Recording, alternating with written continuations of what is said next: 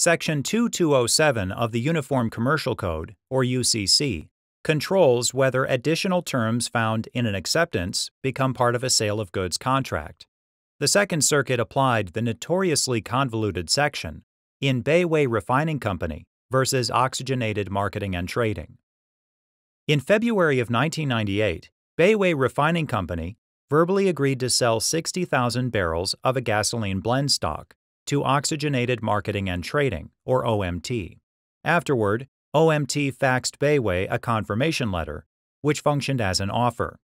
Bayway faxed OMT its confirmation letter the next day. That document, which functioned as an acceptance, incorporated Bayway's general terms and conditions by reference. Those terms and conditions weren't shared with OMT, but they included a tax clause requiring a buyer to pay any federal excise tax incurred by the seller.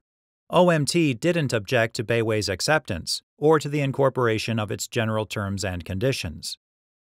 As it turned out, the Internal Revenue Service imposed an excise tax on the sale of gasoline blend stocks, payable by the seller to any buyer not registered for a certain tax exemption.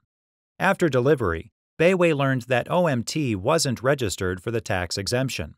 The transaction created a tax liability of $464,000, which Bayway paid.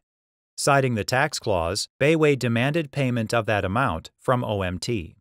When OMT refused to give it, Bayway sued for breach of contract. Bayway moved for summary judgment, and the district court granted the motion on the ground that the tax clause was properly incorporated into the party's contract. OMT appealed to the Second Circuit.